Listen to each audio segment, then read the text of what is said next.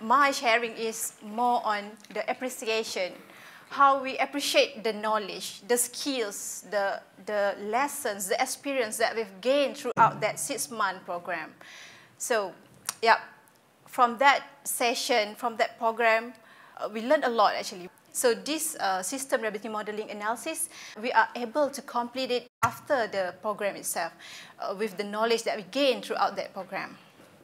System reliability modeling is actually one of the submodule in the APM reliability pillar. It is commonly known as RAM, RAM analysis or RAM uh, modeling. So it uses the failure data, failure modes, repair data, and also the maintenance strategy we also need to define what are the system scenario. From that system scenario, we can then run the Monte Carlo simulation. And with that simulation, it can help to provide the system availability and also the system total cost. And this uh, SRM analysis can either be used to uh, the new system or either uh, existing system. So for a new system, we can model different construction uh, options. Uh, with that, we are able to know what will be the potential cost and the potential reliability of the system. And for the existing system, we are able to know what are the weakest link, what are the culpability of that system, and from there, we are able to take necessary action in order to close the gap, in order to meet our target um, system availability. The purpose is to perform the optimization on our PRD by using asset strategy optimization. Before GEAPM came to our environment, to Petronas, we performed the optimization of our equipment manually. For our PRD, yes, we have the RBI program, and then we perform the optimization for our PRD before GEAPM by using the Excel, using the RBI, refer to RBI. If you guys can see here, all the bar looks like the same, but if we zoom in,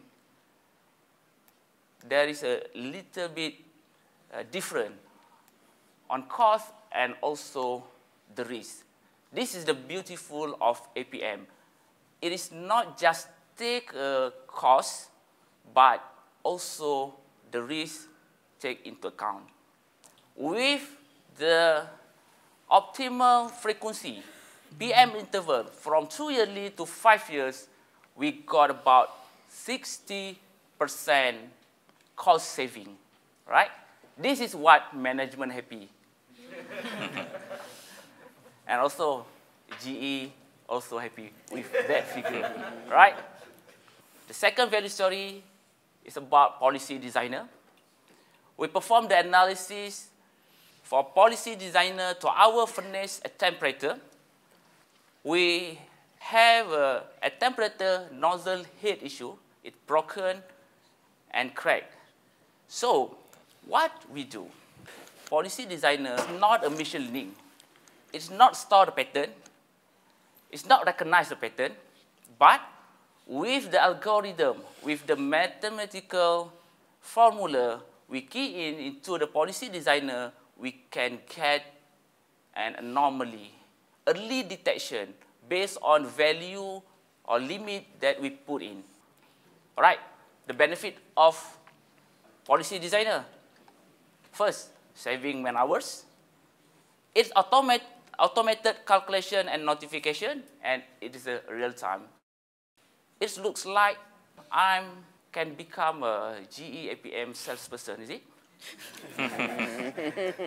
so as the conclusion, with the estimation uh, expected failure, the team are able to assess impact of the delaying the improvement of the system, and with the new way forward, of our system, our pump can run more than expected failure date, and it make cost, realized cost avoidance for us. Also, this one make our management happy. And with the able establish what availability, we able to establish what availability and reliability will need to accept until the new pump installed.